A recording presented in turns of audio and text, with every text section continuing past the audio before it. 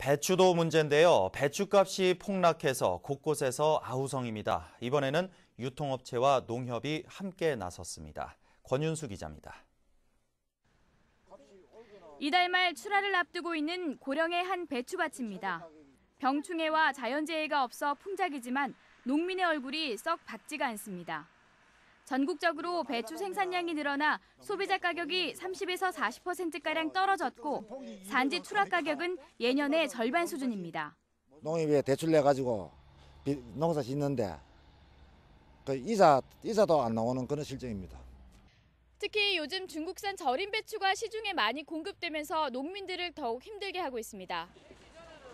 이런 가운데 대구에서는 지역에서 생산된 배추를 이용한 대규모 김장 담그기 행사가 펼쳐졌습니다. 한 유통업체가 대구시 사회복지협의회와 함께 배추김치 만 포기를 직접 담가 어려운 이웃들에게 나눠줬습니다.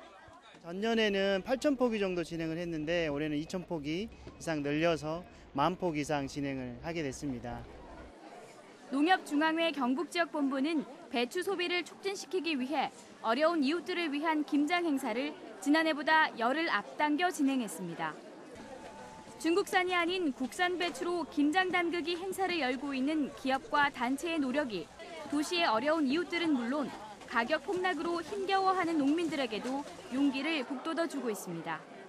MBC 뉴스 권윤수입니다.